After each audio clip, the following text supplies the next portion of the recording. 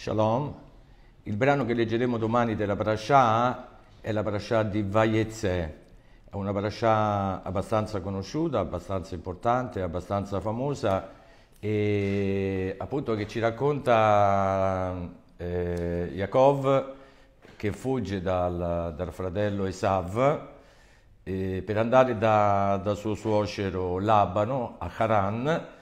E, appunto nel, nella prima nottata che si trova da solo fa questo strano sogno di una scala fissata in terra che arriva fino in cielo e degli angeli che salgono e scendono.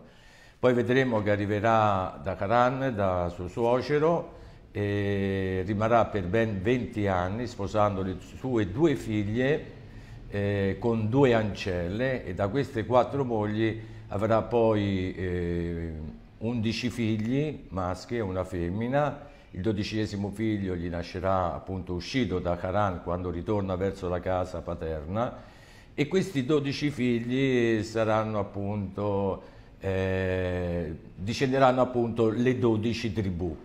La braccia inizia appunto con Vayezè Yaakov mi Bershava, eh, Yaakov appunto esce da, da Bersheva per andare verso Haran. Eh, tramontato il sole, pernotta lì in quel posto in cui si trova, prende delle pietre come giaciglio e si addormenta. Fa uno, uno strano sogno, ecco che una scala che eh, era appunto piantata in terra e la cima arrivava fino al cielo e da questa scala eh, Malacheluim, gli angeli di Dio salivano e scendevano.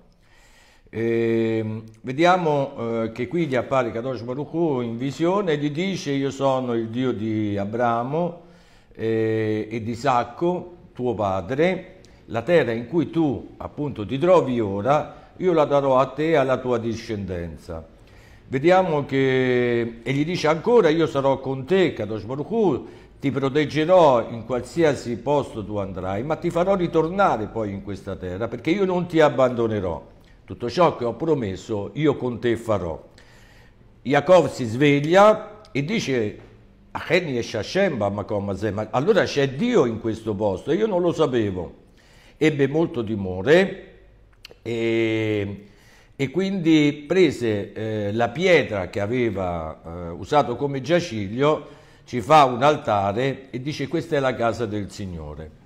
Eh, cerchiamo di spiegare un attimino questo primo brano. Intanto i nostri Rabbanim dicono perché dice Vaiezze Yaakov, uscì Yaakov invece in realtà non uscì, ma fuggì dalla casa paterna, perché eh, quando uno fugge comincia ad avere tremore, timore, paura, non è più conscio delle proprie azioni, mentre invece Jacob eh, sa di avere vicino a sé, eh, accanto a sé, Kadosh Baruch e quindi eh, è più tranquillo, uno esce quando è più tranquillo, fugge invece in realtà eh, quando non, più, diciamo, non, riesce più a dominare le, i propri sentimenti e le proprie azioni.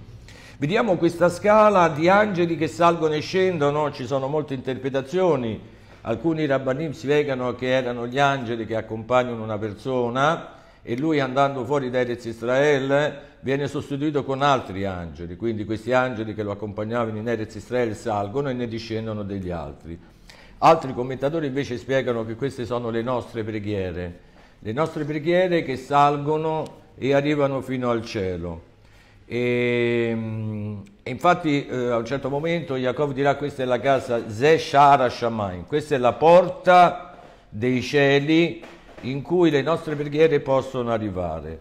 Sappiamo eh, che appunto verrà chiamato Bet El quel posto, la casa di Dio, non è altro che il monte Arra Moria, in cui appunto doveva essere sacrificato Yitzhak, ma in seguito verrà costruito il Bet Amikdash. Sappiamo che il Bet Amikdash è la porta in cui le nostre preghiere devono essere rivolte per arrivare al cielo. Eh, noi quando preghiamo eh, ci rivolgiamo sempre verso Gerusalemme, dove c'è appunto il Bet Amikdash, il sacro tempio di Salomone, e se uno si trova in Eretz Israele si rivolge verso Gerusalemme, a Gerusalemme proprio verso il Kotel dove c'era appunto il Bet Amigdash, perché è da lì che le nostre preghiere salgono. E vediamo che a un certo momento fa una preghiera, un voto Yaakov e dice che se il Signore sarà con me mi proteggerà eh, e mi darà pane per mangiare, uveghe di voce, vestiti eh, per indossare. Quindi la preghiera che chiede e quella che noi dobbiamo imparare da, appunto da questi versi è che noi non dobbiamo eh, chiedere più di quello che abbiamo bisogno. Jacobi chiede soltanto il pane per poter mangiare, chiede soltanto un vestito per poterlo indossare, non chiede niente di superfluo e vedremo e fa un eder che eh, una parte di quello che lui ricaverà e guadagnerà lo darà ad Hashem, cioè darà, viene dato ai poveri. E quindi questa è la preghiera che noi dobbiamo adottare, cioè chiedere l'indispensabile, ma quello che abbiamo in più, donarlo a chi ne ha bisogno. Grazie a tutti e Shabbat Shalom.